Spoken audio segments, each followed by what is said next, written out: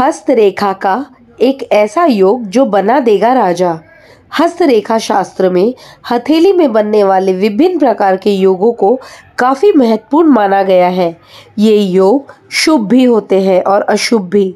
शुभ योगों में से एक है ताड़ित योग, दूसरा है गजलक्ष्मी। यह ऐसे योग है जो व्यक्ति के हाथ में होने पर उसे राजा के समान जीवन प्रदान करता है। जिस जातक के हाथ में ताड़िती योग होता है, उसके जीवन में अचानक बड़ा बदलाव आता है और वह एकदम से जीवन में ऊंचाइयाँ छू लेता है।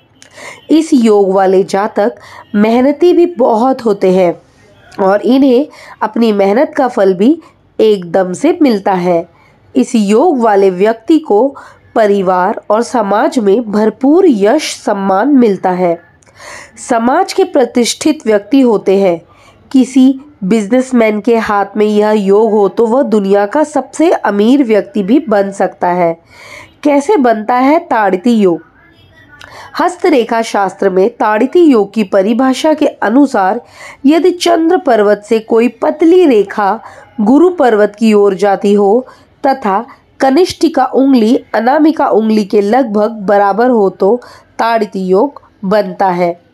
ताड़िती योग को कुछ अन्य स्थितियाँ भी पाई गई हैं कि हाथ की समस्त उंगलियाँ पतली, लंबी और नुकीली हो तथा तर्जनी उंगली के तीसरे पर्व पर तिल हो।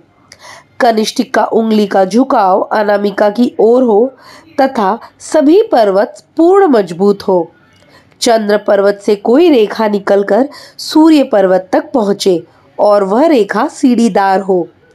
कैसे मिलता है इस योग का लाभ? आइए जानते हैं। जिन जातकों के हाथ में चंद्र पर्वत से एक पतली रेखा गुरु पर्वत की ओर जा रही हो और वह भाग्य रेखा पर आकर रुक जाए तो ऐसे व्यक्ति का भाग्य बहुत प्रबल होता है और वह अकुत धन संपत्ति का मालिक बनता है।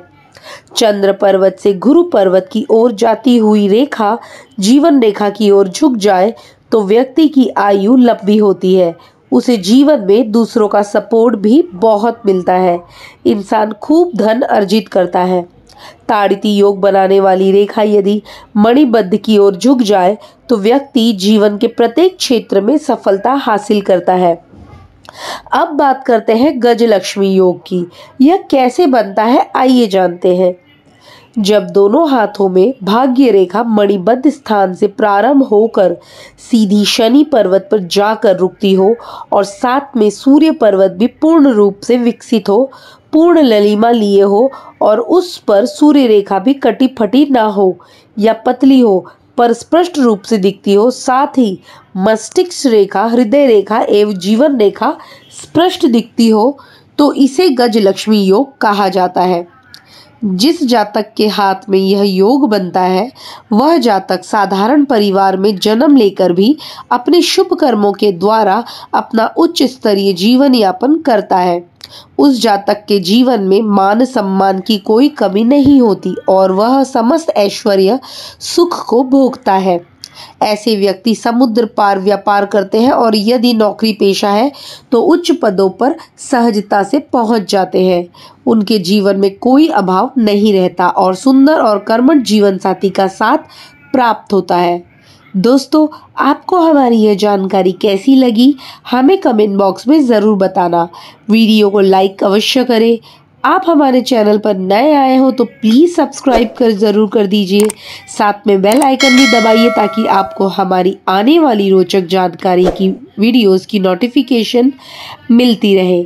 धन्यवाद। आपका दिन शुभ हो।